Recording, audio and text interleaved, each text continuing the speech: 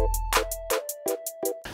everybody, Brent Sales here with training video number five, and today we're going to talk about why sales is important. Why have we decided to do something that so many people put down, but is so vital to the economy and vital to the world? Imagine a world without sales.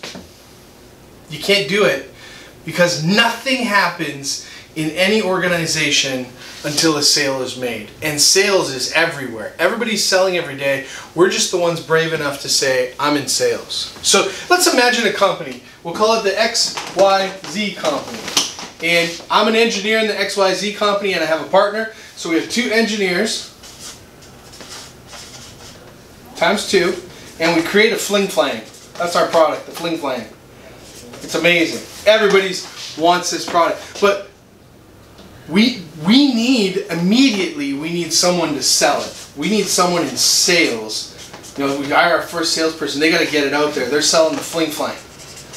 And then as this salesperson starts to sell the product, we need someone to count the money. So we need an accountant. Okay, so we hire the accountant times one, right? And they're taking care of the money. All right?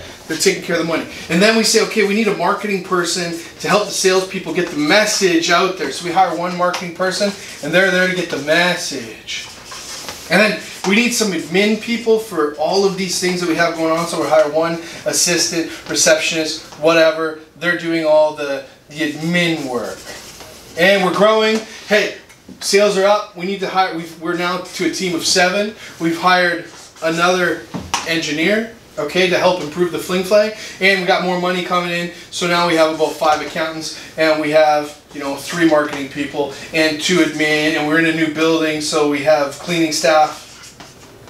It's a big building, so maybe we're up to two, three, whatever, and they're there to clean the building.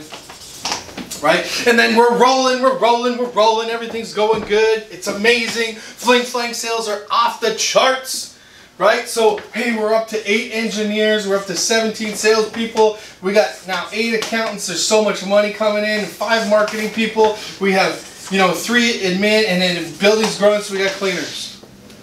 Amazing success, everything's going good. Then people, a new fling flang comes out that's better than ours. Sales start dropping. Salespeople have nothing to compete with. Okay? What starts to happen? Do they cut the salespeople? No, they're going to go, okay, we got eight engineers. I'm one of the partners that started this. I'm an engineer. We can probably cut down to just me and the original partner. The accountants, there's less money come in. Let's let's cut this down to two. Let's cut the marketing people down to one. Let's cut the admin people down to one. Let's cut the cleaning staff down to one. Let's keep those sales people on the floor. They're the only people bringing money into the organization. Nothing happens without sales. We're just brave enough to say that we're doing it. Sales is everywhere. We're brave enough to say we're doing it.